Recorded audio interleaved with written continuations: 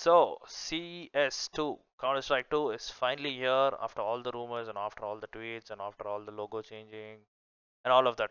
So, this is the official website of Counter Strike 2. If you haven't really checked it out, recommend checking this out. You can find the links to this in the Steam.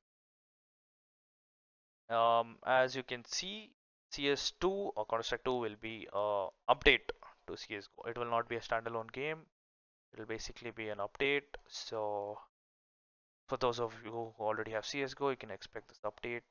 And yeah so moving on. So what's the first thing? So what is the major from counter strike to counter strike 2 so apparently the three major changes that valve have announced is better maps better smokes and better servers.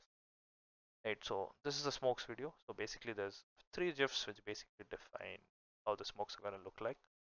So just to summarize it, uh, the smokes are basically going to be dynamic. It's going to react to the environment. It's going to react to obstacles. It's going to react to gunshots. It's going to react to grenades. It's going to react to anything with the environment, right? So it's a dynamic smoke. I think it's a crazy feature to add. And also reacts to lighting. For example, you shoot through it, it kind of reacts that as well and then the next update is the tick rate. So apparently we're moving away from 64 tick to 128 tick. And that's a really good thing because everyone had an issue with the 64 tick. And I guess this update was coming either ways. So the next update is the world. Um, I'd recommend checking out this trailer because there's a lot more details uh, because the world looks a lot better compared to CSGO. Like the difference is day and night because the lighting's much better, details are much better, and here's a preview of what it looks like. So this is CS2 and this is CSGO. CS2, CSGO. Um, as you can see, the details are much better in the CS2 engine, CS2 or CS Source 2 engine, and the lighting's a lot better.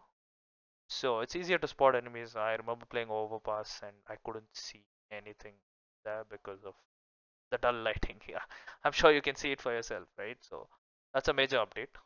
And it's not only Overpass. I think the overall map looks a lot better. For example, Bombsite A, it looks a lot more dynamic, a lot more rich. And even the park. So the textures look really neat and it's totally a worthy upgrade. This is Source 2 on Nuke. And this is CSGO. So the difference is again day and night. Look at the details. For example, the A1 and the reds. So this these are just a few screenshots. You can just open this website and check them out, and you'll be able to see the difference, right? It's pretty neat. It looks pretty sick as well. So and Dust 2 actually looks like Dust 2 on Source 2, unlike CS:GO where it looked like a different map altogether.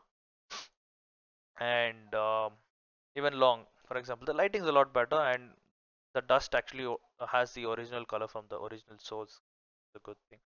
There's a few tools that they've announced uh, for the community map makers where you can build maps using source 2 so that's another update.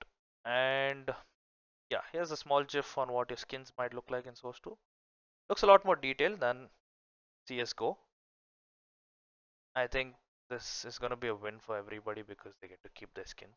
So good news and yeah the VFX looks insane. It looks clean. Uh, it doesn't look like it's been overdone. It looks kind of clean and I think this has taken some time but it really is worth the update. The environmental effects look really convincing though. And the UI enhancements can't really say now. Probably once we get a beta of it is when we'd be the judge of it. Uh, the file looks a little fake though I think it'll get better with time. And so there's apparently better audio. I'm guessing they have full support for 7.1 headsets so that could that's a good thing. And there's more to come. So the there's more to come section is nothing but they've announced a counter-strike 2 limited test. I actually looked it up on how exactly you can gain access. So it says players selected based on number of factors deeming important by Counter-Strike 2 develop team. So, so we can't really sign up for it as of now. So you'll just have to wait uh, for a confirmation from Valve whether you've been selected for the Counter-Strike 2 limited test. So I did check mine, so there was no access. So you probably have to wait like me. Um, apparently, uh, it's gonna come up on your main menu, and it says you receive an invitation, select enroll, and begin your download. So it will come up on the main menu of CS:GO, not through the beta. Uh, that is through the the Steam beta.